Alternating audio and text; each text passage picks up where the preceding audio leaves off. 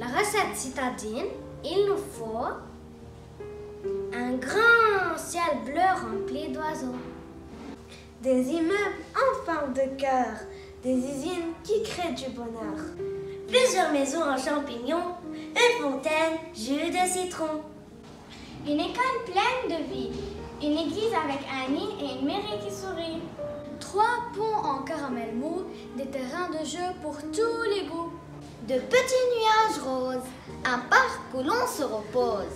Il faut bien mélanger le tout en faisant cuire au soleil doux. Laisser les rues se promener, puis ajouter de la gaieté. Mettre enfin pour décorer beaucoup d'arbres, beaucoup de fleurs. Des gens de toutes les couleurs et des animaux familiers. Au moment de présenter, napper d'amour et d'amitié.